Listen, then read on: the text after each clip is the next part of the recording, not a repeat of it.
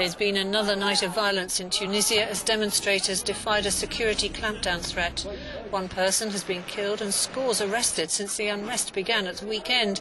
Anger over rising prices and tax hikes have fueled the protests. Many in the country are also disappointed at the lack of progress since the country emerged as the only democratic success after the 2011 Arab Spring. A series of governments have failed to deal with growing economic problems.